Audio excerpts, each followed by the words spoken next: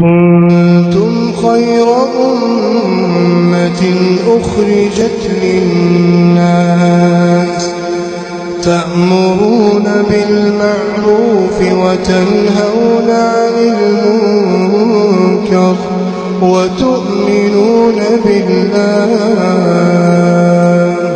ولو آمن أهل الكتاب لكان خيرا لكان خيرا لهم.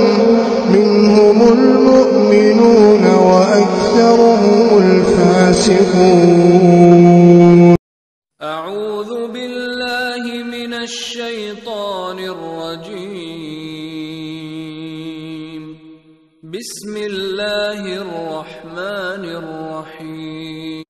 وما آتاكم الرسول فخذوه وما نهاكم عنه فانتهوا واتقوا الله إن الله شديد العقاب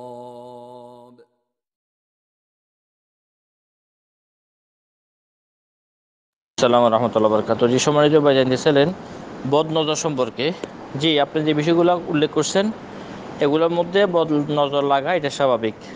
বদ নজর লাগতে পারে, এটা হাদিসের মধ্যে আছে, কোরআনের মধ্যেও আছে।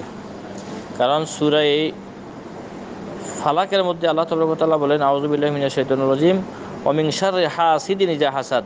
আল্লাহ তবরকতাল নিকট আমি আশ্রয় প্রার্থনা করি, হিংসুকের হিংসা থেকে যখন সে হিংসা করে। তাইলে মানুষের হিংসার থেকে এটা যে অনিষ্ট হইতে পারে এটা ইঙ্গিত।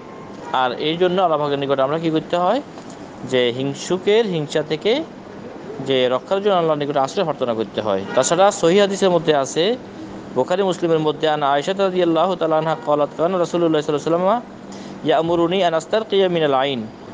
আয়সা সিদ্দিক রাজি আল্লাহ তালাহা বলে নবী সাল্লাম আমাকে যে বদ নজর যদি লাগে, এর থেকে বাঁচার জন্য আমাকে জারফুক করতে নবী সাল্লাহ সাল্লাম নির্দেশ দিতেন। ওয়াকরাজা মুসলিম ও আহমদ ও তিরমিজি ওয়াসাহাহু আন ইবনে আব্বাস রাজি আল্লাহ তালাহ মানি নবী সাল্লাহ কলাল আইন হাক্কুন। ইবনে আব্বাস রাজি আল্লাহ তালাহ থেকে সহিসূত্রে বর্ণিত যেটা সহি মুসলিমের মধ্যে, আহমদের মধ্যে, তিরমিজের মধ্যে সহিসূত্রে বর্ণিত যে রাসুল সাল্লাহ সাল্লাম বলেন যে বদ নজর এটা সত্য। ওয়ালাউ কান আশাইউন সাবেক আল কাদের সাবাকাত হুলাইন যদি নাকি ভাগ্যের উপরে কোনো কিছু থাকতো তাহলে এটা ভাগ্যের উপরে চলে যেত বদ নজর এটা।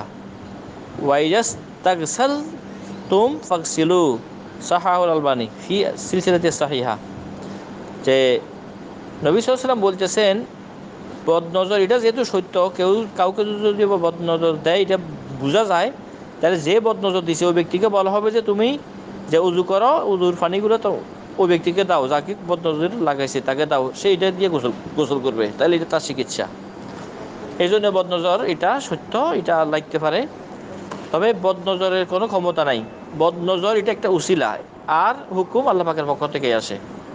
তাই সিরিকের যেন আমরা না যাই, বদনজর, এটা বদনজরের যে ব্যক্তি দিবে, এর কারণে লাগছে সেটা না। অর্থাৎ ওই ব্যক্তির দুষ্ট হয়েছে, সে কী করল? খারাপ নিয়ত করল এটা।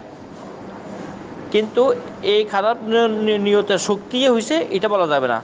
বরং এটা একটা কারণ আর আল্লাহ তাল্লাহর হুকুমে হয়। এটা খেয়াল রাখতে হবে। কিন্তু এই জন্য গুণাগার হবে ওই ব্যক্তি কারণ বদনিয়ত করল? এই জন্য।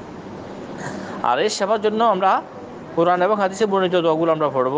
সকাল সন্ধ্যায় এবং এই তিনবার তিনবার সুরা একলাস ফালাক নাচ পড়ব এবং ফাঁসক্ত সালাতের পরে একবার একবার করে সুরা একলাস ফালাক নাচ পড়ব। আউজুবি কালিমাতিল্লাহি তামাতে মিশারিমা খালাক মাকির তিনবার পড়ব এবং বিসমিল্লাহিল্লাহিয়াদুল মাস মেশাইমফিল্লাহিসামিল আলিম এগুলো আমরা সকাল সন্ধ্যা তিনবার তিনবার পড়ব। আর আয়াতুল কুসুর ফাতেহা, শেফার যতগুলো আছে এগুলো আমরা পড়তে থাকব। আর যার ফুক করতে থাকব, আল্লাহ পাক আমাদেরকে বদ নজরের অনুষ্ঠিত থেকে হেফাজত করুক আমিন। সালামু আলাইকুম